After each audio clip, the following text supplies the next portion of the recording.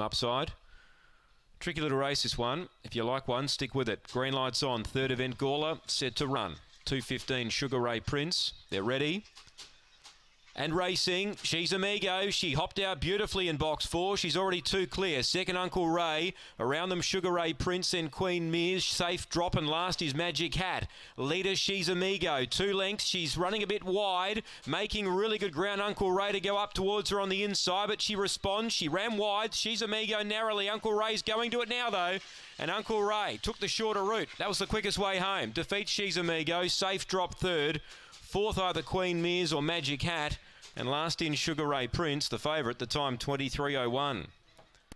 Uncle Ray goes underneath She's Amigo. Number two, Uncle Ray took the shortest way home. Local knowledge around Gawler certainly an advantage for him.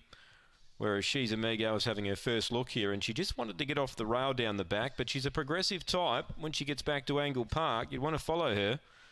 One third safe drop and number eight fourth Magic Hat.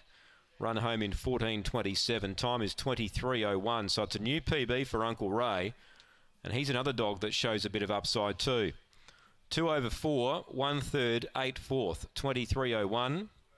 Two, four, one and eight, one and three quarters by two and a half. After the third here from Gawler, awaiting the all clear.